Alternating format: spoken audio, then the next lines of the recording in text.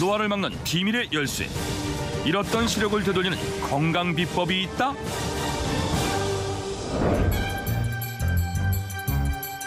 청균우설 제작팀 앞으로 도착한 정체불명의 우편물 하나.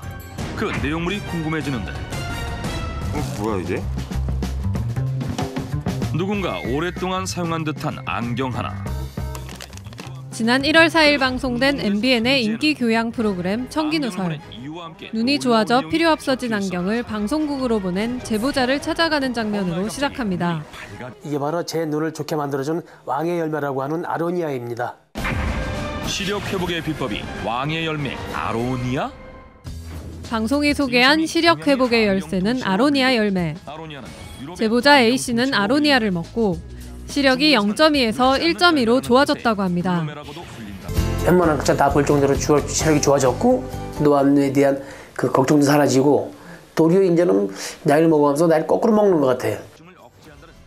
의사의 설명도 곁들여집니다. 아로니아의 성분이 그 심각한 염증을 호전시키는데 아주 효과적이라고 알려져 있는 게 첫 번째고요. 그 두 번째는 수정체 혼탁의 발생 그리고 진행을 억제하는 데 효과적이다.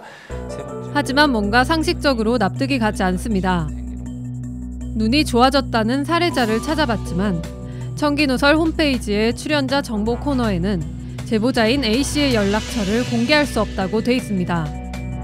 그런데 바로 아래 아로니아 판매처 전화번호가 적혀 있습니다. 뉴스타파의 확인 결과 이 연락처는 다름 아닌 제보자 A 씨의 전화번호였습니다. A 씨는 경북 상주에서 아로니아 농장을 경영하고 있습니다. 그를 찾아가 봤습니다. 예, 예. 어, 예. 좋은 대신에. 내가 TV 봤는데, 만 내가 왔다 그러면, 어디서 사 먹었냐고. 어, 내가 농장에 나한테 사세요. 참, 그런데 참, 좀. 안경을 소포로 보낸 것도 제작진이 시켜서 보낸 것이라고 합니다. 자기랑 확인한테 보내라고 해서 보냈어요. 아 보내라고 해서 보내신 네. 거예요? 아, 그냥 확인해봐야 된다고. 방송에 출연했던 의사의 말도 다릅니다.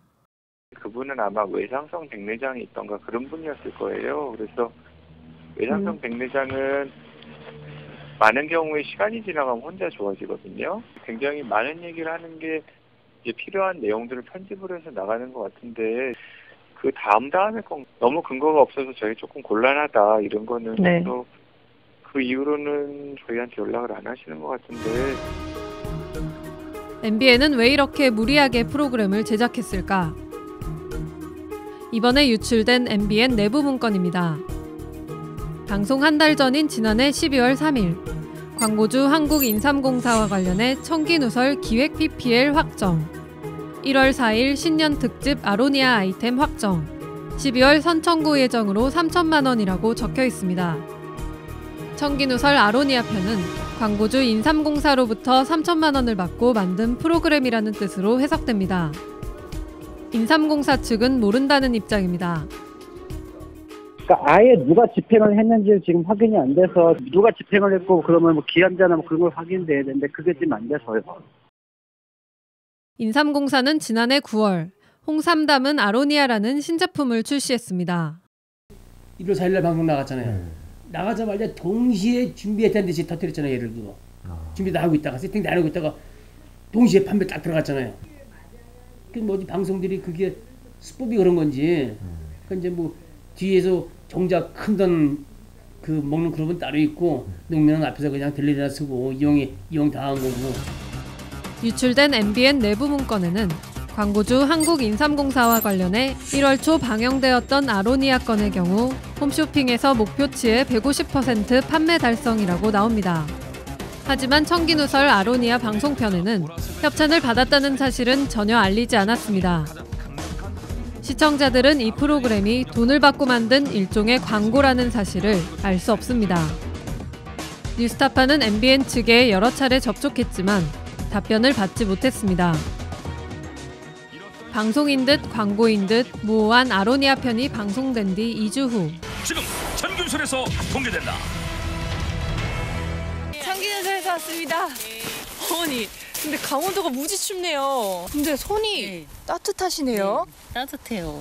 한겨울에도 추위 걱정이 없다는 이번엔 홍삼편을 방송합니다. 벗기지 않은 채 증기로 쪄서 건조하는 증숙 과정을 거친 것으로 홍삼액을 김치에 넣어 먹고 수족냉증을 치료했다는 특이한 사례자. 취재 결과 이 사례자도 인터넷 쇼핑몰을 운영하는 홍삼 판매업자였습니다. 홍삼 농장을 하시는 입장에서 네, 사례자로 출연한다는 거에 대한 어떤 고민은 없으셨어요? 있었죠. 있었죠, 나중에. 왜냐면, 뭐, 저야 뭐, 나와서 매출을 올리면 괜찮겠지만은, 뭐, 만약에 시청자들이 이거 보고, 어, 저 사람, 이거 사업하는 사람이네, 알면은, 신빙성이 또 떨어지겠죠? 역시 유출된 MBN 문건에는 지난해 12월 16일 광고주 한국인삼공사와 관련해 청기누설 수족냉증편 기획 PPL 1월 3천만 원 컨펌 홍삼 아이템이라고 적혀 있습니다. 심지어 방송이 나가기 5일 전인 1월 20일에는 더빙용 나레이션 광고주 전송 컨펌 기다리는 중 방영에는 무리 없을 전망이라고 나옵니다. 돈을 받고 홍보성 프로그램을 만들어주는 것도 모자라 방송되기 전에 방송 내용을 광고주에게 보내 확인까지 받았다는 뜻입니다. 광고주랑 뭐 같이 회의도 하세요 제작진이랑? 만나 원하는 거 있으면은 얘기를 하시는데 하시는데 그거에 대해서 뭐 이렇게 해서 요구사항 MBN 문건을 분석한 결과 방영 시기와 프로그램, 아이템까지 일지에 적힌 대로 방송이 진행된 경우는 모두 8건입니다. 대부분 수천만 원의 광고주와 계약이 됐다고 적혀 있습니다. 어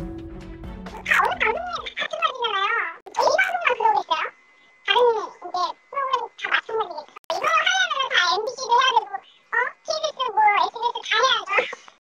광고주들에게 연락해 물어보자 당연한 일이라는 입장을 보였습니다. 그거는 알고 계십니까?